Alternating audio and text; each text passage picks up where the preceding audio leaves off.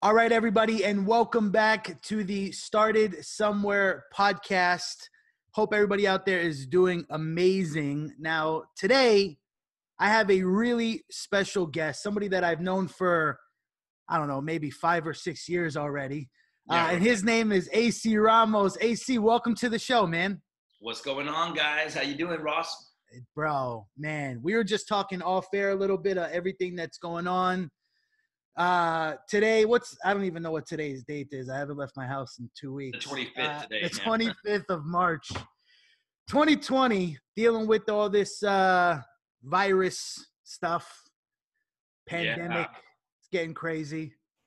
uh, but you know, hey, just like you said before, man, before we went live, uh, it's definitely giving us a lot of time to think about the things that we were neglecting prior to this yes. whole. Yeah, definitely. Um, and also realizing the things that we take for granted, man, like shaking somebody's hand or just walking into a store and sit a restaurant and sitting down, man. It's crazy. No, I've been I've been meeting people like when when I do go out and have to do some I have to run some errands here and there. I went to the title company, closed on two properties a couple days ago uh, that uh, that are my rental properties and stuff like that. And literally, uh, there's no handshakes. I'm I've gotten to the point where I just kind of do a toe tap. How you doing, man? it's crazy. I went and saw So- the contractors at one of our big rehabs or new. We're doing new construction, so I saw our project manager there, and I was like, "Hey, what's up?" We give the toe tap. Coronavirus protocol.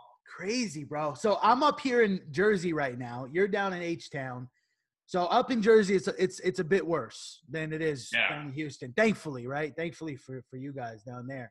But over Well, here, man, sure people are here. We just don't know it yet. yeah. Well, dude, people here are literally afraid to look at each other. Like you go to the grocery store, everyone has their head down. They're like turning their face away from everybody. If someone coughs in the store, it's like the alarms are going off. I mean, it's getting it's getting crazy.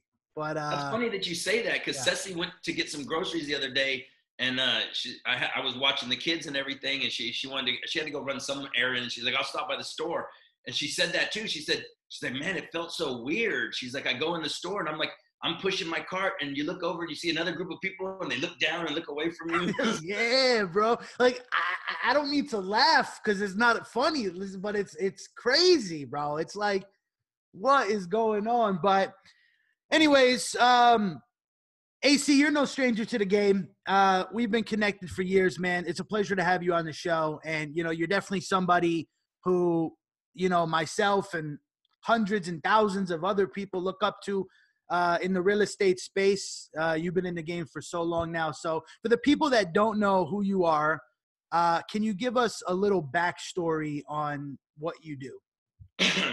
uh, well, I do a little bit of everything. So um, my my baseline of a business is wholesaling, because uh, and that's just because of my fundamental beliefs. I believe if you're marketing and finding your own deals, then your baseline is wholesaling, and then from there you can pick off the ones you want to rehab, pick off the ones you want to buy and hold. Um, you know all that kind of stuff. So I, my business consists a little bit of everything, but mainly wholesaling. Uh, I also do real estate education, where I I I, am now kind of shifting everything up in that. Like I, I've been teaching people how to wholesale and start their business, and then move into those other aspects for a long time. Now I'm actually starting to do more buy and hold with my mastermind students, and and more uh, you know kind of um, collaborating with more of my students that are, are are at that next level, right? The ones that are that are ready to to buy and ready to hold some assets and actually have good credit. They have some some reserves, everything like that. Right, right, right. Uh, and for the people that don't know what wholesaling is, and maybe that's a new term for some of you, uh, can you just break down the wholesaling real estate strategy uh, in like layman's terms? So so pretty much what it means to me for wholesaling, if you're going to be a wholesaler, is you you have to have a marketing stream. You have to market to find deals. So or, or find a deal actually, because I mean some some wholesalers don't even market. You just come across one deal, two deals a year. We have more of a business model for wholesaling, so it's a little different. But somehow you have to find a deal that you can purchase or get under contract at under market value. Uh, usually 40, 50, 60% of market value minus repairs. and then what you do is you find an end buyer, a rehabber, a, a buy and hold landlord, something like that, who's willing to purchase the rights to that contract from you. So it's not really flipping houses; it's more flipping paper, right? Mm. So, uh, so you you get it under contract at a discounted price. Um, so you so you you buy it really cheap and you sell it to another. You sell your rights to that contract to another investor, still cheap, right? Usually about seventy percent, sixty-five to seventy-five percent. Yeah, man. Uh, wholesaling, it's just such a powerful way to make money in real estate, you know? Um, yeah. I mean, I, I've been in the game now for going on seven years. And, you know, to this day, when I meet somebody that's brand new that wants to get started, I always tell them, hey, take a look at the wholesaling strategy because it's super simple, right? It's not easy. It requires grind, it requires hustle, but it's a very simple way to get into the game, right? Uh, learning the terminology, learning how to estimate repairs, learning how to value property, and it could be really quick cash for a lot of people. Um, you know, maybe somebody wants to make a quick 10k, 20k. I mean, it's simple, right? The deals are out there; they're all over the place. Well, that's the one thing is is they are out there.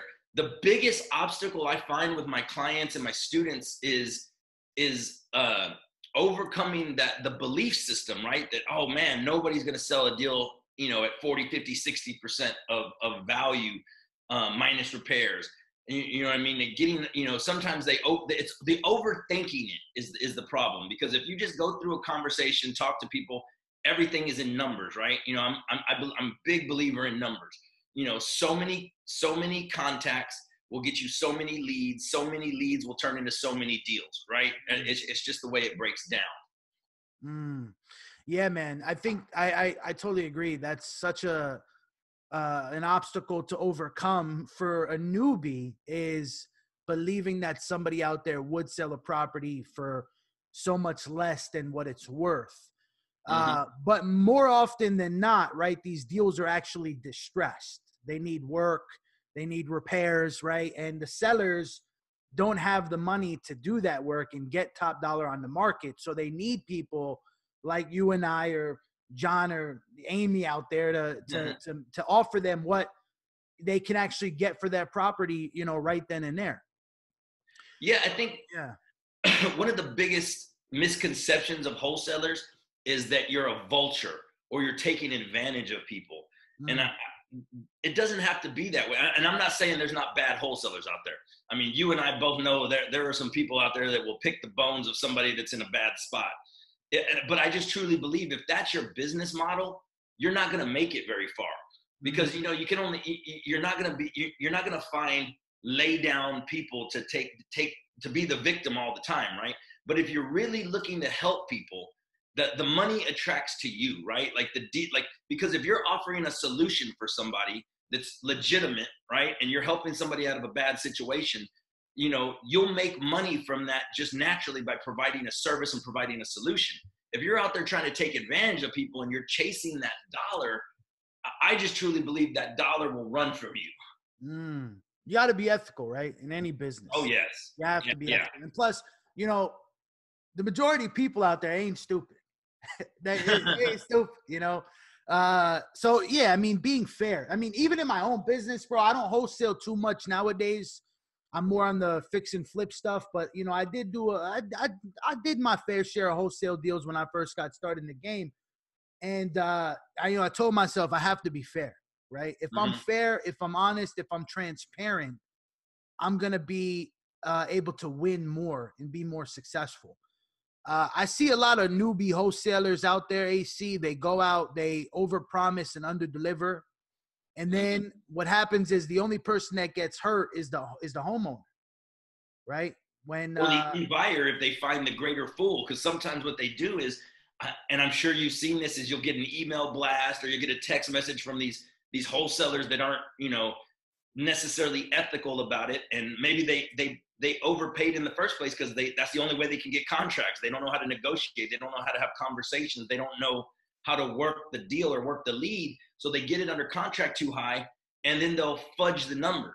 You know, ARV is this much when really it's this much. Repairs are this much when really they're this much. You know what I mean? Like it, it's Yeah. You know, it, it's a it's a, a find the greater fool theory is what I like to call it because what they're trying to do is find a newbie investor or somebody who's not as savvy and take advantage of them because uh, you know I've seen I've, I've had people actually come to me and join my mastermind group to work with me because they've been taken advantage of by another company or another wholesaler or another investor.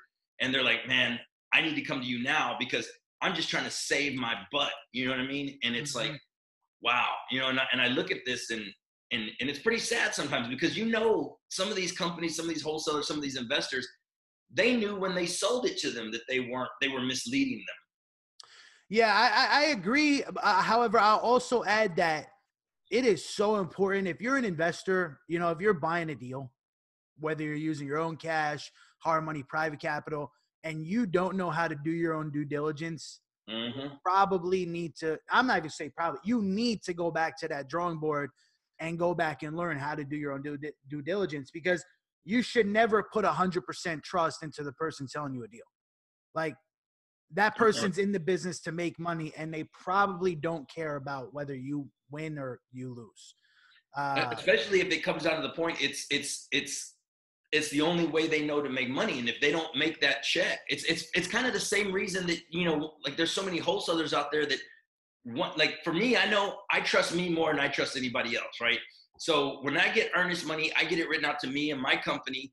And if there's an issue and it doesn't close, I give the earnest money back. You know what I mean? I've never had a problem. You will never find somebody that said I didn't give them their earnest money back. You will never find somebody said I ripped them off.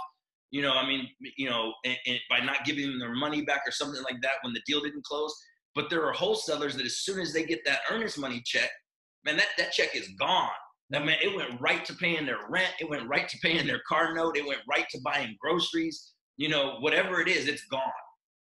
Yeah, man. Re- I mean, and reputation is so important. That's one of the reasons why you're still in business to this day, right? So I also I believe at the same point, man. Like the the the the, the rookie wholesaler that's that's you know taking advantage of people, that's fudging numbers. Like they're just not going to last long in business. You don't really see those people around too much right? I mean, the people that are really producing results and you know building their reputation, the community, like you, you those people are still around to this day. Uh, yeah, and you know, the, and some of them may still be around, but they're in the underground. They're they're they're not prevalent. They're not out in the open because they know everybody knows their tactics. Everybody knows their game. Mm. Because there's a or they they move to another city and start doing it. You know what I mean? Like, and you, you and I both know a few people like that. that you know they they they took advantage of one market. So now they have to stay laying low and taking advantage of people so that they're not on the radar and or they move to another city. You know a couple wholesalers that move to other cities because their name is burnt in the city they started at. You know and and the thing is if you're actually doing the deal real estate communities it, it's a big community but it's tight right? It's a tight community. Like like i know you. You've been doing this a while. You could call me. I could call you we, if something goes down, we're going to talk. The, the, the head of other real estate companies here in town, I could call them. They know me. I know them. And, and it's happened before. I've had, I've had heads of other, other real estate communities and other real estate companies from other cities like Austin or San Antonio call me and go, Hey, have you heard uh, uh, of this person or so and so? Because they're out of Houston. I'll be like, Oh yeah, yeah, I know them. And they'll be like, Well, what's their reputation? I say, Oh man, that person, they're they're good. Or or man, that person, you know, I, I don't know, I w- I wouldn't do business with them. They have a reputation of, of keeping earnest money or doing this or doing that, and, and vice versa. I can call somebody in another city and be like, hey, like this person says they're from San Antonio. You know, what's your experience? Do you know of them? And they'll be like, man, they're bad news, man. Stay away from that person. Mm, yeah. I've literally had calls of that. I, I, yeah, I can relate, man. People have reached out to me also. Uh, yeah, I mean, it's it's a reputation business, right? It's a reputation business got to be ethical if you want to win long term. When you're dealing with other people, people's livelihoods, you got to be ethical, and uh, you know you'll make it. You'll make it far, but you take advantage of people, and uh, eventually you're gonna get exposed, and it might not be so so good for you, right? Um, no, your your name is the biggest yeah. thing you have in this business. Boom! If I, yeah, yeah, I'm working on getting a gong. So I see, I see a couple other podcasts. They have the gong, you know. And I'm gonna just when somebody drops a bomb, man, I'm just gonna bang that gong. yeah, that's your name is everything. Get an air Uh, but dude, so AC man, um, you you've been in the game for a while, right? You've been how many years now in in? in oh man, you're trying to make me feel old now. Um, dude, uh, this year is now. I started in 1999, so it's 2020 now. So this is I'm starting year. Tw- it was right at the end of '99. So right, I guess 2009, into '99, beginning of 2000. So oh, about 20 years now. 20 years in the game. It's a long time. Yeah. Definitely a long time. You've been you've been through some ups, you've been through some downs, right? You've been Oh, through yeah. some downturns Mm-hmm. And you've been through some uh some uptrends, right? A lot of investors right now are, are, are freaking out, dude. I mean, we're all kind of freaking out, but a lot of people are freaking out because for the last couple of years things have been going so well. And now like the economy is turning to crap. Like Yes. so now they're like, oh shit, like what what what what what do I do? And uh, you know, it's easy to uh, it's easy to win in the up market, man. It's uh, it's how you react in the down market that separates like the super strong educated true. entrepreneurs from the from the weak ones or from the fakes, right? A lot of these pretenders are getting, dude, they're flooded out. They're out of business. Well, like you said, I mean, I was in I was in this business wholesaling a lot of houses during the last downturn. Mm, So in 08, 09, there was like in, in Houston area, I knew I knew of personally uh, of about 20, 25 pretty big time wholesalers, right? mm, Man, when when 08, 09 came, man, everybody just got wiped out. Like everybody. There's uh, there was three major wholesalers that I can remember that were major. Like, you know, including myself, um, Eddie Gant, who you know, mhm. uh, was was wholesaling. I mean, he's always had his lending and, and buy and hold stuff, but he, he was wholesaling a good amount. He still does here and there. Um, you know, so he, his he was he survived it. And Will Denker, I don't know if you've ever had a chance to meet Will, Yeah, but Will's, I- I- Will's an awesome cat. Yeah. Um, and he's been doing this a long time too. You know, but Like those are really the only veterans right there. yeah, those are the veterans. You know what I mean? Myself, Will, Eddie, and maybe one or two other people that I can't think of right now. But man, that, that's pretty much it. But they're they're everybody and their mama was wholesaling Mm. back in 08, 09 because you know, I mean, because they started in you know 04, 05, 06, 07. You know, you know when the market was you know anybody could buy a house and flip it. You know, you could buy it completely wrong. You could overpay for it. You could get screwed by your contractor, pay too much for the work, and the the appreciation went up so much that you still made a profit at the end of the day when you sold it. Wow. Yeah, that's uh that's definitely uh it's crazy. It's crazy stuff, man. Yeah, I, and I don't, I don't, I do not see this market being like that. Like, there's a lot of panic right now, a lot of panic, and and and for good reason, right? You know, I mean, and you know, the panic around the virus is one thing. You know, there, there's a panic around the virus. There's a panic around the the the market, the stock market, because a lot of people lost a lot of money because of the you know crude oil and everything that's happening there, along with the virus.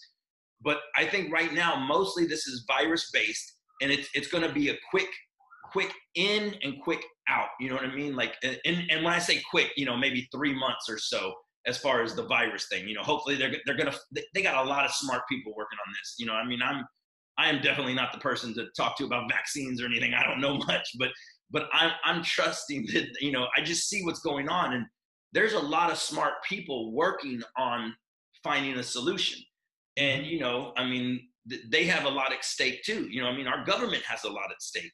You know, I mean, how how long can they continue to put money in the market before we everything collapses, right? So I, I- believe they have a reason to find a cure, and and then there's enough scientists and doctors working on that that something well plus the burn rate you know like with any virus it goes up and then it, there's a there's a high peak of it and then it starts the burn rate starts to go down you know because people get you know start getting herd immunity that kind of stuff you know i mean you start getting your, your body starts adapting you know uh, i think right now what they're doing that's causing a lot of the panic is because they don't want everybody to get sick at one time because like you were telling me oh where you're at they they don't have hospital beds they don't have ventilators They don't, dude. They don't. And it's Yeah. it's an eye opener, bro, because you as as an American citizen, right? And and I'm sure anybody in the world that's in a you know a first world country can speak for this. you as a as a citizen put trust in the government to have the shit when you need it. Like if you need a ventilator, you know, God forbid, they're gonna have a bed for you, right? You go to the hospital, you know they're gonna take care of you. It's a really terrifying thought to think that if you show up to a hospital, they have to send you away because they don't have the equipment to treat you. And Yeah. that's what Mayor de Blasio in New York City, the New York City mayor was saying the other day. He's like, we don't have the supplies. He's like, you're going to have to choose. And he, you know, he's telling the federal government, you're going to have to pick and choose who lives and who dies from this virus because we d- literally, like, we're not joking, we don't have the equipment. And that's terrifying, you know? So, Or, or like in our case Yeah. here, they don't even have enough tests right now. Yeah. You know what I mean? Like I was telling you there, I know people that are sick and they've told them, hey, you, you probably have it, you might have it, but we got to save these tests for what they consider high risk, which is Mhm. somebody who's, um, you know, sick and has asthma, sick and is, you know, diabetic. You know, I mean, I mean, whatever they consider high risk. So if you're 33 years old and you, you have it and you go in with a, you know, respiratory illness and you're sick, they may not have the tests for you. Right. You know? Yeah. Uh, hopefully, AC in a couple of weeks, man, we'll uh, revisit this conversation and we'll be on that come down because they say that the the the the peak is going to be in three weeks from today. Like, well, Really. a few studies have shown that. I mean, who Yeah. knows if that's really true? So, And three that's weeks relatively quick. That's relatively quick. You know, I mean, thinking from when this started, if it could end and start coming down at that point. And that's why I don't think there's going to be like a lot of foreclosures and people thinking, oh my God, this is going to hit rock bottom like it did in 08. Uh, I, I think they're going to wait for something that's not going to happen. Is there going to be a small window of opportunity right now as far as for real estate and deals and sellers? I think so, but it's not going to be like 08. I mean, it, right now it's the uncertainty, bro. Because if we knew rock solid, okay, three weeks, this thing's gonna start to come down by, you know, by May, everything's gonna go back to normal. It's a lot different than what we're dealing with right now because who who really knows when this is gonna be gone? You know? I mean, if we're if we're still dealing with this virus in eight months, and people are starting to man, and it starts becoming like the movies where like it's like, oh man, like everybody's still locked in their house, and you gotta you gotta go to grocery shopping with a gun, and there's martial law. I was like, man, I think we got bigger issues. you know what I mean? Dude, yeah, I mean, eh, but eh, you know, it's it's it's it's it's sad for a lot of people. You know, I before we hopped on this podcast, I, I had a call with my buddy who owns a restaurant, small business, you know, small little cafe, and up here in New York and New Jersey, I'm sure down in Houston already too. They closed down all the restaurants for dining. Yeah, well, yeah, it's only takeout and, yeah, and, and delivery, I think. Well, I mean, who really goes to like a diner and orders takeout? Like, not many people. It's kind of like Exactly. a sit-in kind of place, you know, like a cafe. So they're getting crushed. They're getting mm-hmm. absolutely crushed. And, and their rent, you know, I think he was telling me their rent's like three k a month. Well, I mean, Ooh. for a small business, That's a big chunk. that's a big deal, right? That's a big deal. So you know, the the uncertainty and the fear is like, okay, well, if we have to deal with this for two or three months, that rent's going to build up. We still got to pay it back. You know, we're going to be behind a few months. I mean, it's a it's a big deal for for for the small business world. You know, even the, I mean the big business world, the Fortune 500 companies. But I don't know. I think I was uh, what I'm getting is there's going to be more aid for the more bailouts for the bigger companies than for like the average just Joe Schmo that owns like a small business. But I I, I don't know. I, I I haven't looked into it too much. Um, Yeah. but I mean, us, you know, look, man, you know, another thing, bro, and, and I want to want to switch gears here, but I also want to say, bro, that this needs to be an eye opener for a lot of people because I am seeing people that are on the verge of like bankruptcy after only one month of of dealing with this. Like Oh yeah. entrepreneurs out there that are listening, like, do you not save money? Like, do you not stack money away? Like, like I'm seeing so many entrepreneurs that claim to make all of this money and do all of this business, and then one month of a of of a of a of a you know epidemic happens, and it's like they're on the verge of of being out of business. Like, you know, I don't I know, man. depends kind of on on your on your business model. Also, I think like, like what you just said really hits home because you know it's it's an eye opener because like for myself and my business about three months ago i mean i just recently had a baby too. You know you just had your baby. I mean uh, we had our baby like a couple weeks before yours. Yeah. And uh, i started changing things up in my business. Like i was just telling you how i i built out a home office and i still have an office that's not in in my house. I have this i have my home office for me to work out of right here. And i have my home office that i built for a couple employees to work from from my house that i can keep an eye on them that i got to work closely with on my real estate business and then my other businesses, I have another office off the off the freeway, you know, and, and, a suite and everything over there, so that I can meet people for business meetings and stuff like that. But I, I got rid of a lot of overhead. I used to have a five thousand square foot office, and mm. because of the baby and wanting to change my life and be around the baby, I think I was kind of a, a few months ahead of this curve because right now, like my overhead in the business, uh, uh, in you know, as of January, like for my multiple businesses, was like almost a hundred grand a month overhead. So I, I, mean, I could imagine if I wouldn't have scaled down for the baby and changed up my stuff and changed up my my way of doing business. Uh, I was talking to another friend of mine yesterday about that because they kind of did the same thing, but for a different reason. And they were like, "Man, could you imagine if we were still in that business model and having that high overhead when this hits because it you know you know people can't people can't go to work you know they're not letting mm-hmm. people like just freely do everything they were doing before. That yeah. that has a major impact. It does it does. I mean my my my advice for anybody out there um you know you need cash reserves. You got to have reserves in the bank. You got to have that rainy day fund and I know that there's a lot of uncertainty out there. A lot of businesses rely on day to day revenue. Like, I totally get that. Mm. But for the entrepreneur out there, the solopreneur, have reserves, have cash in the bank. If you have, uh, if you have, uh, you know, bills right now that you're, you're worried about paying, try and get deferred payments as much as you can. Uh, you know, push stuff back, keep that liquid cash because you, you, you, you might need it right? You might need it. And uh, I personally, my personal advice, AC, and I, I'm curious to know your thoughts on this. I would not take on a huge amount of debt right now until this kind of coming down. And yeah, I mean, it, it, and again, there's good debt, there's bad debt also. But as like what I'm concerned about right now is we have a good amount of rental properties. We have a rental portfolio, and right now everything is good. You know, we're at the end of March, coming up on April. I think everybody's going to be able to make their payments on April because not everybody has taken a hit. Even though I know some people have, have reached out to me, some tenants with concern, and they're like, man, I haven't been able to go to work in a couple weeks. I'm not making an income, you know. But there's also a lot of other jobs available right now. You can go work at the grocery stores who are or, who are sending out supplies and everything like that. Um, but either way, some of them are not having income right now, and April 1st, I think they're going to make their payments. But what about uh, May, June, July? If this continues to hit a little bit, you know? Well, Uncle AC is going to have to float the bill. and, and truly, I am because that you can't evict. I don't know what they did over there where y'all, where y'all are at, but right now in Harris County, you can't evict people. Mm-hmm.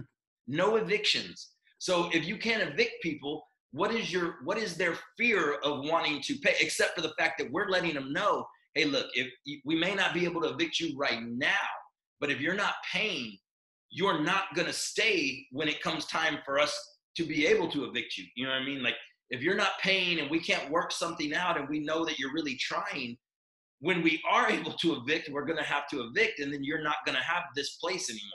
And hopefully they value that enough to, to do it. But we can't evict as landlords. We can't evict as as the owner of the house and the person renting it to them. But we still have to make our mortgage payments, right? You know, some companies. Are the banks with, offering forbearance? I don't mean to cut you off. Some, yes, yeah. some of them are, but not all of them. You know, I was my, my, my buddy yesterday. He, he's a he, he was a member of our mastermind group, and now he has a pretty big rental portfolio also.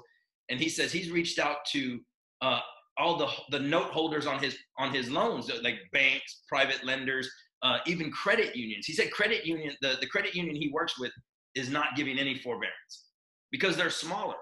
You know what I mean? They they they really can't afford to right now. Some of the bigger banks, you know, uh, Fannie Mae, Freddie Mac, I think they're giving 12 month forbearance mm. if you're affected by the coronavirus. But you know, w- what about the ones that aren't? And, you know, we still have to make payments, and we're not getting income. Yeah, uh, I actually I just I just sold my last rental uh, last fall, um, which like you, uh, I think I was a little bit ahead of this. Uh, but I, I, I mean, I, I'd probably be freaking out also. Um, you know.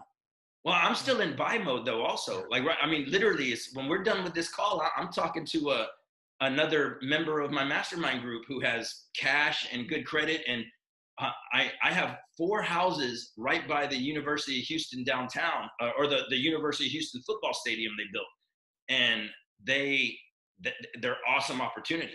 I want to buy these four houses because right now, you know, the sellers in California, he's also motivated. Uh, we're getting a pretty good deal on it.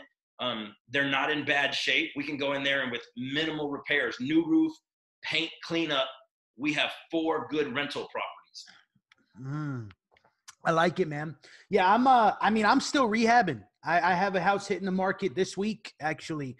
Um, the good thing about where I, you know, where I'm at, I'm at the lower end of the market. I mean, you know me, I buy houses between 50 and 100k, and typically the ARVs are going to be at 150 to 200. You know, Pasadena, yeah. Texas, and um, you know, the people that buy my houses at my price point, they're considered essential workers. So yeah. I don't see a lot of, I don't personally, I don't see my buyers, potential buyers, being you know out of the market for buying a house. So, I mean, I'm still acquiring properties as well.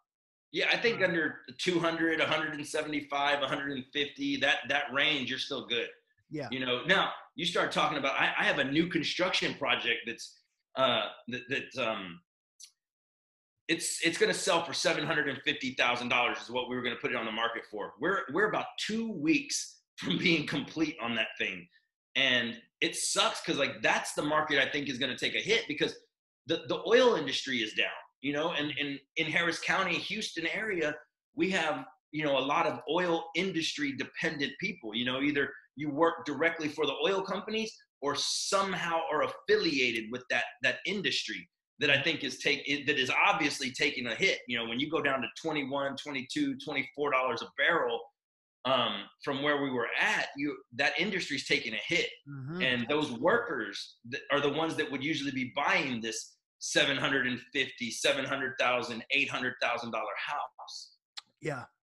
Absolutely. So I'm, I'm looking at refinancing it with my lender and turning it into a rental, even if it's just short term, a year, six months, you know, what something like that. for that house in, in, in rent? Huh? I, I think I could get about 45, 4,000 to 4,500. And what's the square footage on it? About 2,500 square feet. Where is it at? Near the Heights. It's in Brooke Smith.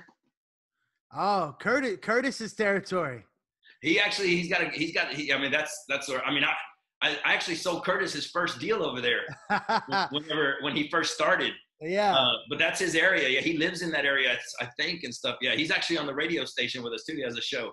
Nice. Um, but yeah, yeah, that's Curtis. Curtis yeah. is over there. There's yeah. a few other people over there, but the, I, I, I remember I was in that area way before before that, before any of those guys even came around. I remember yeah. I was talking to Brant Phillips about selling him that property over there because I was I was wholesaling back then. And Brant was like, "Hey, there's this guy named Curtis that's looking for a deal over there," and that ended up being his his first deal over there in that area. Dude, I, I love those houses over there in the Brooke Smith Heights area. Those uh the new construction over there is just beautiful. Uh, yeah. I mean, you don't really see that up here, up in the Northeast, man. Like it's pretty, for lack of a better term, it's pretty, it's pretty ugly. It is bland. like, I don't know if it's a restriction thing, but you know, the architecture, the architectural differences between the houses up here, New Jersey, New York, versus down in Houston, they get builders just get so much more creative down there. Like you drive through a town and you drive through like a neighborhood like in West University or the Heights, you see like every house looks different. Over here, it's like copy and paste. They all look the same. uh, and there's just not much. There's not even a lot of new construction when it comes to residential stuff. Um, you know, it's I don't know, it's kind of bland. Well, I mean, I think y'all y'all are a lot older than us, right? Yeah. You know, I mean, like New York, California, you know, and you see a lot of that there. California has some pretty good architecture also. Here we we, you know, it started very, you know, onesies, twosies, you know what I mean? And you had some neighborhoods that popped the neighborhoods that popped up after World War II, like Oak Forest and stuff like that. They had a lot of uh, copy and paste little little houses and stuff that now they're tearing down and building these little McMansions and stuff. And, and you know, but I mean, I, I think that's that's because y'all had so much dense population and had to to cater to a lot of people right away. You know. Could Possibly. be. I don't know. I don't know. yeah, I, I, I don't know uh, either. Um, you know, it's I just I love Houston architecture. Um, for anybody that hasn't been down to Houston, I mean, you drive around the loop and you'll just see, you know, townhouses, four or five story townhouses, big apartment blocks, you know, beautiful houses. You drive through Bellaire, you're seeing, you know, million dollar houses, which by the way, those houses, one, two million dollar houses down there, up here, those houses are trading for like five, six, seven million dollars all day long. I'm sure Oh. that seven hundred thousand dollar build you're doing up here would be at least one one five. Well, yeah, and and it, you know, I definitely agree with that. Yeah, again, because y'all are ahead of us by so many years. But Mhm. even in the in the areas of town here, like I mean, you, you know, I used to live in the Oak Forest near downtown, near the the Loop area in central Houston. I had a 1,400 square foot house. When I got with Ceci, and now we have a baby, and we have we have five boys, and we just had our first girl. You know, together we have five boys. That's So- a Brady bunch over here, bro. right? So we, we, we had three boys. I had two boys. So we have five boys. And then we just had our first baby girl together. But um, so my house in the Heights, I sold that and sold it for like $315,000 for a 1,400 square foot house. And, and in New York prices, New Jersey prices, that's nothing probably.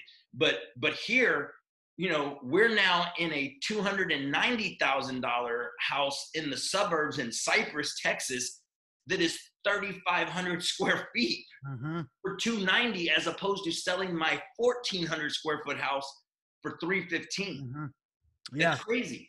it's it's all about location, man. Um, it's it's I mean even in Houston, the price differences are definitely vast. Like Katy, Cypress compared to West U, Bellaire. Height. Um, it's definitely like you can see the price differences, but even still, you know, the houses in West U, the houses in the Heights, you know, up here uh, in the New Jersey, New York area, even over in like the San Francisco, LA area. oh, uh, yeah. the differences. You know, that's what I tell people. Like, you want to buy a sick house and really get value, move down to Houston, Texas. Uh, move to the suburbs like Katy, like Spring. You will be blown away with how much you actually get for your money. you know? Yes.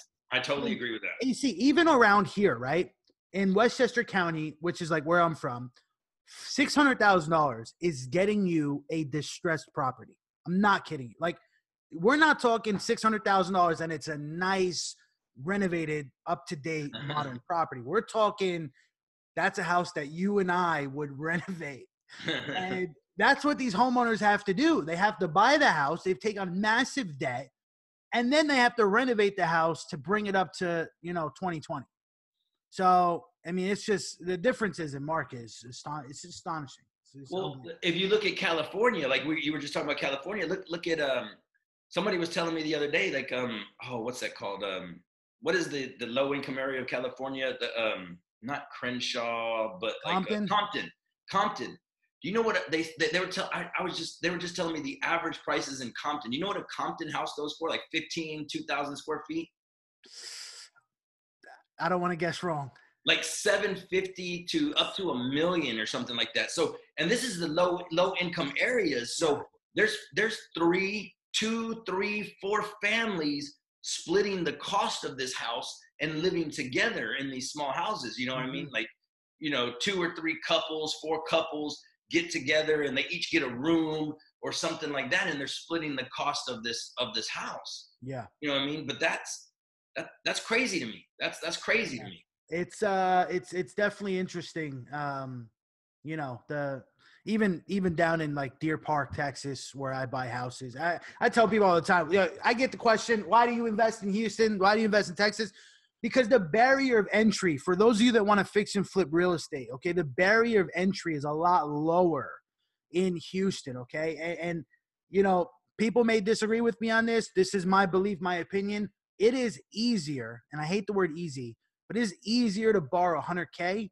than it is to borrow you know five 600k to to renovate a house. Like I can get started and do a lot more deals at one time to buy a house for $75,000 in Deer Park, mm-hmm. Texas and, and and and make my 30, 40, 50k whatever it is and do 5 10 of those at a time then borrowing 500,000 to do one deal and make whatever, you know, whatever it is. So the barrier of entry in my opinion is a lot lower in these markets like in Houston where, you know, the houses are just they're cheaper right? Well you can't argue with numbers right? You can you can you may not like my opinion you may not like my haircut you may not like the way i dress but you cannot argue with facts and data right?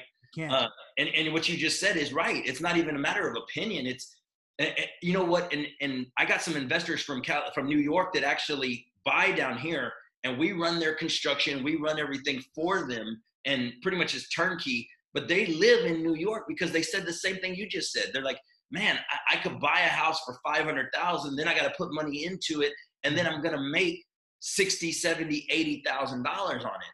You know, and we just Ceci just sold one last week for for one of our New York investors, and he's making he's into it for he bought it from us for 124. He put 60 into it, and she just sold it for 268 or something like that for him. Mm. Uh, you know, and, and that's on one deal that he's into for less than 200,000, mm-hmm. you know, and he, and he's going to make a good, about the same as he would make putting out 500 after, because the holding cost is more. I really think a lot of us Texans and Houstonians here, I tell them all the time in my group, like we're spoiled. We're spoiled. Yeah. Uh, pretty much, man. Pretty much. uh, I mean, you go, you go around like Pasadena, Texas, right? Take a drive there on a Saturday afternoon. You will find so many potential deals, so many distressed properties that it's like a candy store.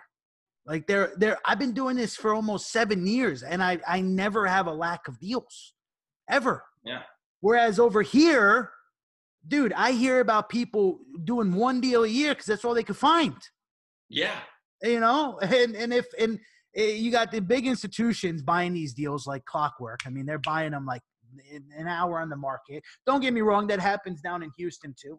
Uh, it's super competitive. I mean, I, the other day I saw a deal. I got outbid like in 30 minutes. I, yeah. I, I offered what I offered. I offered like 75. They were asking like 90 and I, I got outbid. It, it, wasn't worth. There wasn't. There was no way I could pay 90 for it. But I got outbid in like 30 minutes. Like I can't compete you're going to buy yeah. that property for you know buy and hold purposes or whatever it may be. But um, there's just there's so many deals down south. Um, but AC, I wanna I wanna switch up the gears here, man. We've been we've been going on for 43 minutes now, bro. And for those of you that are still hanging with us, listening, tuning in, really hope you're enjoying the show so far. If you are, please go ahead wherever you're listening to this or watching this give us a review. Give us some feedback. Let us know what your thoughts on uh, are on what we have been talking about. And uh, hey, share this with a friend uh, that you believe can get value from this. But AC, I want to switch gears here, man, because we're talking a lot about real estate. We're talking a lot about what we're doing right now. I want to back up here. I want to back up because you have a really awesome come up story, and uh, I want to share that with the viewers. If you're if you're up for it, uh, but it is the started somewhere show. You know, you're talking about building houses for seven hundred thousand. You're teaching people. You have masterminds going on. You're doing buy and hold. You've been in the game for twenty years. Where were you prior to getting started in the game? So actually, I fell into real estate. I wouldn't say by accident because I always knew that was the vehicle that, that most millionaires were built through and, and protected their assets but I, I, actually was coming out of prison for the second time at the age of 22 years old when uh, when I got into real estate. My my my house of business, the the house of operations, is actually the the first house I ever flipped, and that was a, a friend of mine's house who like I, you know I, I would cover the the mortgage there, you know, uh, help him with money, and, and pretty much was renting this this house from one of my friends and working with one of my friends. And when I went to prison, um, he he actually the second time he actually like he, he was when I got out he was like man he's like I lost my vehicle it got repoed you know our friends don't talk to me anymore because you know friends are the first ones to go right when everything hits the fan mm. uh, house is in foreclosure and uh, and he was actually in talks with another company to buy it and they didn't even want to pay him what he owed on it which I knew the house was worth about 75 they were offering him like 27 he owed 28 and I said, man, don't sell it. I said, I'll figure out a way to do this. And uh, I ended up buying it from him for, for 20, uh, for 33. So he had some money. And then we put 22 into fixing it and sold it for 84. So that was my very first deal. And, and the, the way that I found out about real estate was when, when I got out, you know, I mean, actually that, that was the first deal I did when I got out. I mean, and then I knew about it because I read books and, and saw some TV stuff, but that was rehabbing and and you and I both know that if you don't know a lot about rehabbing, that that can that can bite you in in the rear end real quick. And mm-hmm. what happened is I got stuck in a property that we we rehabbed, we put it on the market, and we sold it, but we sold it owner finance because the the market was we we were a little over. We put too much into the purchase. We put too much into the uh, into the rehab because like that was in 99 that i bought that first house when i was coming out of prison so we did that for three years in 2003 is when we got stuck in this property. So at that point, I ended up losing everything because what I didn't realize is I had built myself a job. I built myself a job in the rehabbing. And then I ended up losing everything and ended up living in a storage room, actually living in a 12 by 12 storage room behind one of my family members' houses, my aunt. And she's, she's really more like my mom, you know, I mean, and I ended up, you know, living in this storage room. I had my wife at the time because uh, and we had like a four-year-old kid, uh, or my first son, four or five years old at that time. He was born in '99, also. Um, so I'm here watching this infomercial at night, right? You know, and uh, in in my storage shed, you know, with my hijacked cable, and, uh, and, uh, and we actually ran cable from the the big house into the to the shed, and we, you know, I had a little laptop and stuff. We had a TV in there, and I'm watching this infomercial at night, and it's like, do you want to learn how to flip houses? With no money, no credit, no brains. And I'm like, that's me. You know what I mean? Like, I have no brains and no credit, no money. How much per- more perfect can I be for this? And um, and ended up being the the Russ Whitney program, Russ Whitney's uh, coaching group and everything like that. If, if you've ever heard of them, yeah. they, they were pretty big. Uh, he, he's like considered one of the godfathers of this kind of industry. Um, yeah. I actually got to meet him at an event, you know, about four about five years ago. And i told him that story how going to his his training from living in the storage room and how it changed my life because that's where i found out about wholesaling. I knew nothing about wholesaling before that. You know what i mean? So that that's how i got into wholesaling is going to to that russ whitney training. And actually my aunt was the person who put up the money for that. So I, I, didn't have money for it. You know i'm living in a storage room. My aunt has always believed in me. Like i said she's more like a mother to me and and she put up you know the eleven thousand dollars for a three day training, just three days. It was you know no you know not no other stuff. You know I ended up getting mentors and and and one on one help later. But at this point, just to get started, it was eleven thousand dollars for three days, and all it was about was wholesaling, just, mm. just the fundamentals, not even how to market, just the transactional stuff about wholesaling and that's how I fell into to real estate wholesale. That's how I fell into real estate is by flipping my my house of business and the right when I got out and, and rehabbing it and doing that for a few years and then finding wholesaling through you know losing everything and, and going to that training. And, and this was in in '99. In '99 is when I got I got out of prison in June of '99. Right. And uh, I think the first time I went was in '97 because altogether I did about two years, um, in, in a year and a half, two years, something like that. Uh, in 90, 99, when I got out in June, I, I, pretty much just stayed real low key. You know, I mean, we had we were just having a baby. I was actually supposed to be in there longer, and my my lawyer talked to the judge. Everything got the time reduced so I could be out in time to see my first son be born, uh, or my first child, because we didn't know it was a son at the time, and it turned out to be my first son. Uh, so being out in time for him to be born in September and then buying that first house to flip in December. We actually right, bought that house in December of 99, rehabbed it, and sold it on March 10th of 2000. Bro, you're good with dates. uh, that's awesome, man. You know, AC, you said something a while ago. I want to I want to bring back. You said that when stuff hits the fan, the friends are the first to go. I want to revisit that. What what did you mean by that? Oh man, you know, I mean, when especially in the lifestyle I was living, you know, doing what I was doing, and, and there, there's a lot of, uh, and, and, I think it goes for anybody that makes money. In real estate, it was the same way. Like when I first started making money, um, you know, and anything that you're making money at, it, it's it's weird. If you're not if you're not focused on it, you're not paying attention. There's a lot of people that kind of come to you for the wrong reasons. They want to hang out with you and be around you for what they can get from you, what they can learn from you for free, what mm-hmm. uh, you know, what they can use you for, and and and that's kind of the people that I had around me before. Is I had a lot of people that were like, "Oh man, good times. We're partying all the time. AC's paying for everything. This is good. This is great." But when when everything hits the fan and I went to prison and there's no money coming in and there's no there's if there's no money coming in and there's no party going on, there's no reason to be around. Is the way they saw it. So people started dropping out of your life. Oh yeah, yeah. Oh man, I, I don't I don't have very many people that are friends. Like I have like two or three people that are that I consider good friends from before I went to prison that that, that just to give you an example, I think three those three people are the only people that wrote me any letters out of I had like 15 people that I hung around and that worked for me and stuff like that before I went to prison. And I, I think three of them are the only ones that ever wrote me letters and showed any kind of care while I was gone and and wanted to to to stay in touch and, and give me motivation and, and just, you know, be there for you. You know, everybody else was, you know, when you come out again, they're like, Oh hey, hey man, I haven't seen you in forever man, what's going on? When are we gonna get together? When are we gonna party again? yeah. And that's all. How, how, did that make you feel, man, when people started turning on you? It, man, it, it really it caught me off guard to tell you the truth. Like I, I really didn't expect it. You know what I mean? Because I'm thinking, oh man, I'm going in. My friends are still gonna be there for me. You know what I mean? Like they'll write me letters you know i mean and, and when you're gone for a long period of time it's like you, you really appreciate those letters you know like yeah. every day i would wait you know for the mail call and be like okay who'd write me a letter today?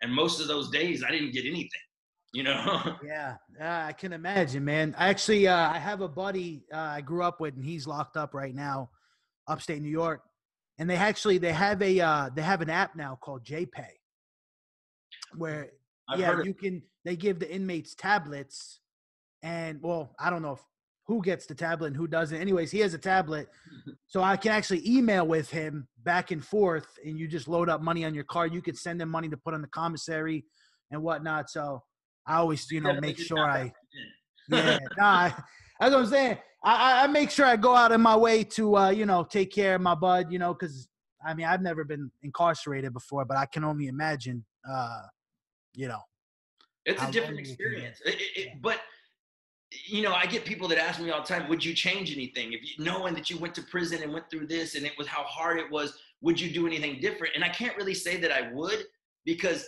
I wouldn't appreciate everything that I do now and the way life is now if I wouldn't have went through that side mm. of it, mm. right? You know what I mean? And it makes you who you are because yeah. you know you realize like uh, the biggest thing that made me realize is because I thought I'm a pretty independent person. It's like, man, you know what? I can make it through anything. I can, and I still feel pretty confident about myself about being able to make it. But what I did realize is I don't want to be locked up again. I don't want to do anything illegal that could put me away because I like being around my family. I like being there for my kids. I like I like life. You know what I mean? The life that I built and everything. And even back then when I didn't have much, it was like my it made me appreciate the freedom to where I didn't want to take any risks, take any chances anymore. Right. Yeah, I could I could imagine. Um freedom, man. Freedom is uh it's a beautiful thing, right? Oh, yeah. To be yeah. able to do what you want when you want and uh, you know, live the life that you want. And uh, you know, I know for you, real estate and entrepreneurship has allowed you to get to, you know, where you want to be or you know, at least on the pathway to where you see yourself in the next couple of years. But you know, AC, there's a lot of people that are listening to the show right now, man. They're just they're either getting started, hmm. they're spinning their wheels, right? They're like, man, I have been doing everything that I learned or uh, doing everything I was told to do, and I'm not getting results. So let's talk to that person that's listening right now. You know, what is what is one one tip, like one super impactful tip that you can give somebody that's just getting started? Oh man, you know, it, it may sound cliche, but it's take action. Because and when I'm and, and let me break that down a little bit because take action is what I think you need to do. But when I say take action, it's like if you've gone out there and you've taken any courses or you've been told to do this or do that, usually it's do your marketing, answer the phone. You'd be surprised how many people don't even answer the phone when they start the business and they just, you know, you're not going to sit on your couch and nobody's going to show up at your door and be knocking and be like, hey, I got that $10,000 check for you. You know what I mean? It, it doesn't work that way. You have to put in the work, you have to put in the action behind everything that you learn. Take action. I like it. Yeah, you always uh you always say um like your your tag on on social media is uh don't talk about it, be about it. Right? Yes. Yeah. Be about do what you say you're gonna do, right? Actually live the life that you talk about, right? And uh I think that's super, super impactful, man.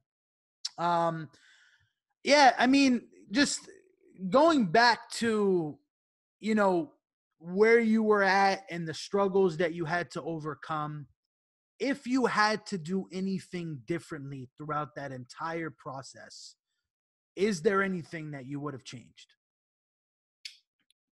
well for me i think it made me who i am so but if i had to start over right now like if you took everything away from me i think this is a better way to put it if you took everything away from me now knowing what i know now and you dropped me in another city what would i do to make money is that is that a better way to put it yeah like you know for basically like is there anything that you would have done differently? Like for me, for example, if I could do it over, I would have started sooner. That's like my biggest regret. I didn't start yeah. sooner. Well, I definitely would have started sooner and probably took some of the money I made from my previous ventures that put me in prison and used it for real estate then. You know what I mean? And then maybe I could have, but like I said, you know, going to prison made me appreciate a lot of stuff. So um, I don't know if I would change it, but yes, I, I definitely would have started sooner. I would have scaled sooner. Uh, I tend to be a little bit of a control freak, you know, where I, don't think anybody can negotiate with a seller like I can. I don't think anybody can run the marketing like I can. I don't think mm-hmm. anybody can manage things the way that I can. But you know, now as a owner of a, a business and a company that now I have acquisition managers and lead managers and and stuff like that, I would have delegated sooner and scaled. Mm. Because like you know, when I was doing it as a one man show, you know, just the wholesaling part after the rehabbing, the whole just on wholesaling, you know, I could generate about 200, 200 to three hundred thousand dollars a year in profit for myself. But that requires 30, 40 hours a week, maybe even 50 hours a week if you're doing everything yourself. Now I have I can run a company that makes a million to a million and a half a year and make 300 350,000 dollars off of that company with spending 10 15 maybe 20 hours a week running it. Mm, i like it man. I like it. Uh next question for you bro. Do you have any favorite books that you would recommend to the audience? Uh, one book that changed my life, besides the the normal ones like Think and Grow Rich and, and the Millionaire Next Door and the and the uh, the the Richest Man in Babylon. Those those are kind of I think the the foundational Rails. books. Yeah. Yeah. Yeah. But the uh, there's a book called Traction.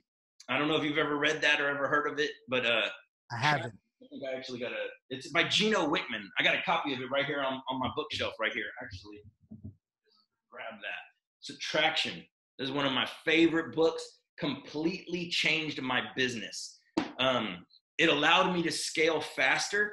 It allowed me to scale more efficiently. It allowed me to delegate. And, and, and the biggest thing it puts in place is numbers and, and it gives you tracking, like numbers to track your business by. I just wrote that down. I need some books to read in the quarantine, bro. Yeah. I'm uh, I'm rereading um, the 10x rule. Grant Cardone. Oh yeah, I read that uh, one. Yeah, I'm rereading that one, and uh, I'm gonna add traction to the to the list. Yeah. I put up a post earlier on social media asking for some book recommendations. Do you That's, read or do you do you like to listen better? I'm I'm an audible person. Like if I read, I mean, I only went to eighth grade, so I'm not going to use that as a crutch. But no uh, way. Yeah, I only went to eighth grade. I never went to high school. No way. Yeah. Bullshit. Dude, I went eighth to grade's the highest. I went to I grad I, I graduated I graduated eighth grade, but uh, I went to 23 days of high school, and that's only because I wanted to play football. And then you know I got into a, a disagreement with my coach and everything like that, and I ended up you know bouncing through in those 23 days of high school. I went to like three different high schools. It was more like yeah, it just wasn't for me. Like I, it didn't work out. So I only finished grade. That's prolific, man. You wait, so you've made it this far in business with an eighth grade education, man. that's amazing, bro. That I mean, that that's that just goes to show you, man, that self education. I mean, look, I'm not advising anybody to not go to high school or anything, but you know, self education, persistence, determination could take you far, man. You know. I've always been an entrepreneur, though. You know, what I mean, like, yeah. um, I, I, had a landscaping business where, I, you know, like cutting grass cutting is more like it was when I was like 13, 14, 15 years old. That's how I bought my first car. Um, is, yeah. is, is I would, I never even cut the grass just to tell you how much of a, of a business person and delegating and, and I, I didn't even realize what I was doing at the time is I would get the jobs lined up for 35, $40 a yard front and back. And then I would pay somebody else, uh, you know, 10, 15, 20 bucks to go and actually cut it. So and and the reason it worked for them is because all they had to do was go and cut grass, cut grass, cut grass, cut grass all yeah. day long, and I would line up the jobs. Dude, so, I love that. Yeah, I love that, bro. I love to hear like entrepreneurial stories, like when you first got started, like because some people think like entrepreneurship is taught. Some people think entrepreneurship is just like part of your DNA. Um, I think people are born entrepreneurs, man. That's my. I definitely think so. I think there's born entrepreneurs and then there's learned entrepreneurism. You know what I mean? Like some people can learn it and actually implement it, but most of the time, if you're not born with it, it's harder for you to to implement it because it's harder for you to some maybe understand it. You know what I mean? That that that just that that natural knack for it, right? Like you know, I would I would sell candy and stuff. And when I was in eighth grade, when I was in sixth, seventh, eighth grade, like I would sell candy at school. You know, I went to private school, so I mean, it's not like, you know, I mean, I had a pretty good education up to that point, but I mean, my family put me in private school. They put all their money together to put me in private school. So, but I would sell like candies and stuff like that to make money at school, and then um, and then again went into the the lawn cutting and stuff like that and then I actually had a pager company when I was like 17 with my with my cousin. Selling pagers.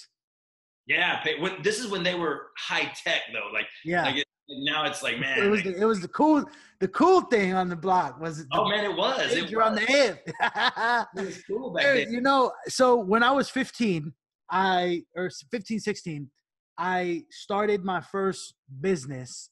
I had a friend I went to high school with. His older brother owned uh, like a Salvadorian restaurant in town, right? And it served uh, food, and then at some of the nights during the week, they would throw like a dance party, you know? Yeah. So I went to him and I said, "Hey, I want to put a teen night together at your club." And this is where I wrote the whole thing down. I mapped it all out, like literally on my uh, desk at in my room.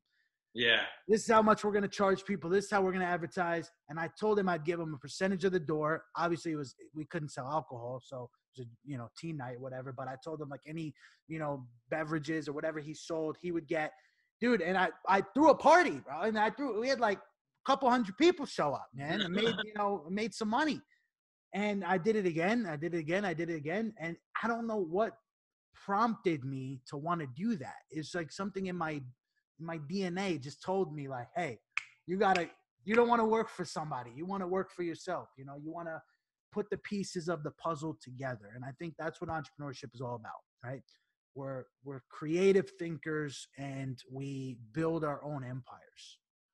You know? Oh yeah, yeah. Uh, I had a cousin that like she's she's older than me by about ten or twelve years or something. I think like that but she tell me she tells me now because she's actually worked with me in the business in, in the real estate business and stuff and she's told me you know numerous times she's like man she's like you always said when you were a kid you were never going to work for anybody and you were going to make a million dollars and and she's like you you you've always claimed it you know what i mean? And she's real spiritual she's a minister now actually. So she said you claimed that and and you were able to to make it happen.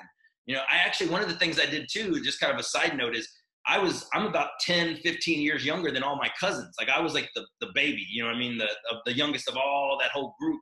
So when there and i had my money from doing my little business things when i was like 10 11 12 13 years old. So they're going out to clubs when they're like 20 22 23 21 uh, i would lend them 20 bucks when they were short before their paydays came in from their jobs. And when their payday came they had to give me back 25 i love it bro. I love it. That's awesome man. So ac we're talking um, about the finish line now bro. You know the mm-hmm. people want to know what is next for you? Like, what does it look like? I know, I know. Right now, we're dealing with the virus and everything, but beyond that, we're ten years, twenty years from now, thirty years from now. What is AC going to be doing? I don't ever see a, a retirement. You know, I mean, because I think real estate is just one of those things that it, I meet. I meet investors now that are like 70, 80 years old, and and it's like, are, are you going to retire? They're like, well, I don't really work. I just do deals, you know, and I make money. And I could see that that going on forever. You know what I mean? Until I die, you know, doing real estate. Now, as far as the business of it, like coaching, mentoring, you know, like I, I just told you, I don't know if it was if we talked about it in the beginning of this or if it was offline when we were talking uh, before about like I, I'm I'm starting to fade away from one-on-one coaching and retire semi from from that because you know i'm i make a lot more money with real estate you know what i mean like i i did it to really give back and help like when i started coaching and, and, and training and everything you know our motto was and still is to care and contribute to the success of others mm. you know mm. and, and that's what we do it for but now i'm getting to the point where i'm working with a smaller and smaller smaller group in my mastermind and those are people who want to work with me. And if they're wholesaling, I will set them up, train them wholesaling, and then we can be the buyers. And then the other group I'm working with is is people that actually are buying because I'm buying and I'm working with other people and showing them how to buy. And we're building a portfolio and portfolios of assets. So I would say a better way to say that is in in three years, I don't have to do anything anymore. But will I stop doing stuff? No, but I won't have to do anything. It'll be just for fun or a deal that I like or whatever. But that's the goal right now is we're building assets and building portfolios and I'm buying with my students who have good credit and good money uh, to to pick up these assets and and and you know facilitating all these deals and that that's what I'm doing right now. That's the kind of the finish line in three to five years uh, three years, I think, really. But it, you know, I may, I might get there and be like, man, I'm a little bit bored. I don't know. I don't know what to do if I don't do real estate. I love it so much. My life really revolves around it. You know, I'll talk to the cashier at the store about real estate for an hour if you let me. Um, so, so in three to five years, to the point where we have enough assets and we have enough portfolio that we never have to do anything again. You know, and that that's probably around 20 25 million dollars in in assets for for myself or so so how do you know when you are when you've hit your potential or do you ever know when you hit your potential Man, that's a good question because I mean I think it, it's a it's an evolving thing, right? You know what I mean? Like especially in real estate, when you can like like like I just said, you can you can continue to do it as an old person and and and buy another deal here or buy another deal there. But i think when you realize that you can do what you want and you don't have to do anything right? When you don't like if i don't want to get up in the morning and go to a meeting and i just want to hang out with my baby and my girl and and my kids or whatever it is that i can actually say you know i'm not going or i don't feel like doing that you know? Now if i made an appointment that's different. That's accountability rely you know being reliable and stuff. But i'm saying like if I don't have to schedule anything because you don't need that income, you don't need that money, you know, which which is good in real estate because you know, I mean, technically there's a lot of stuff that I continue to do now that I don't have to do. You know, I mm-hmm. don't have to take on uh, clients. I don't have to to to work with people in the way that I do. I do it because it's part of what I love to do and it's part of a bigger goal. So I think your goals, you may say, okay, when I reach this point, I'm gonna stop. But then when you reach this point, you're like, oh man, it's it's so much fun and I don't have to do anything else. But man, I really like this goal out here. And then maybe it's like, oh, I really like this goal over here.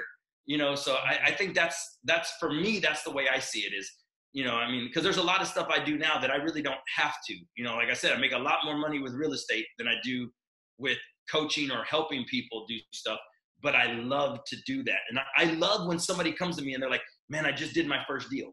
Or they're like, man, I just quit my job. Or, you know, and I have several people that make a million dollars a year in their business. Several of my students make a million dollars a year in their business. And when somebody comes to you and tells you that, that's pretty fulfilling. It feels you know, good. I'm more excited to hear that from people than than sometimes about closing a big deal on our own.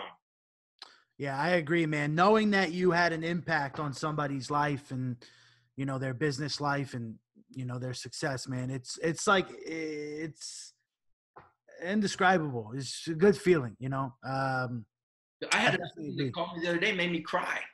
She she like literally she called me and I was driving and she was like she's like AC, I just want to tell you she's like I've been doing this with you for three years now, four years now, she's like, and I didn't even realize until my husband was doing our taxes that we're multimillionaires. like, I never thought of that. Like, we own so many houses free and clear, and we're multimillionaires. And so, like what you just said is having that impact on people. That, that I love the impact. But then she said, our son, who has a medical condition that like he, he could work, but he has a medical condition, and he's like 27 or 30. I think he's like 30 now, maybe uh, maybe a little bit older, a little bit younger, somewhere right around there. She's like, he worked with us in the business and he started buying properties and he started building his assets and he never has to work again. Mm. He never he has a network of a net worth of a half a million to a million dollars in properties and never has to work again. And and she said that to me, she's like, I thank you for what you did for us, but I thank you for what it meant for my children. And mm-hmm. that, like literally, when I got off the phone from there, I was like, there was a tear coming down from my eye while I was driving. I was like, because that impact is one thing, but when they pass it on to their children and everything else, that's legacy, right? Mm-hmm. Absolutely, I agree, man. That's amazing. You know, AC, there's going to be a lot of people, bro, that are listening to this right now that are going to want to connect with you. They want to want to reach out, you know, give you props, ask you questions, whatever it may be. Uh, what's the best place for somebody to reach out to you? Oh man, you can always find me on Instagram is one place, and that's uh, AC underscore Ramos R A M O S underscore. So AC underscore Ramos underscore, or on Facebook at AC Ramos. And uh, you can look at our website, uh, prosperitygroup.com. Prosperitygroup.com. Yeah, and I'll link that, guys, uh, all in the show notes. Now, you see, I got one last question for you, man, and uh, I want you to I want you to think about this question before you before you jump on it. Uh, and the question is: In your 20 years in business, matter of fact, your entire life, what is the best advice that you've ever received? Oh, that's a good one. That's a good one, man. Um, I, I think it would have to be don't stop because you know there's there's a lot of times in life that you you know like when bad things happened when I was younger and I was going to prison and all that stuff, it's like you feel like everything's against you. You feel like everything's over. You know, in in the crash of 0809, you know, I, I lost about hundred thousand dollars of my own cash in seven months during that that downturn. And it's like, man, you feel like everything's against you. But in, in no matter what circumstance you're in, you only lose if you quit. Mm. You only hmm. lose if you stop. Just don't stop.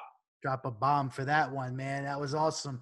So uh, don't stop, guys. Uh, and AC, man, I want to thank you so much for being here on the show, bro. I had a, I had a great time. Hour and 15 minutes, my man.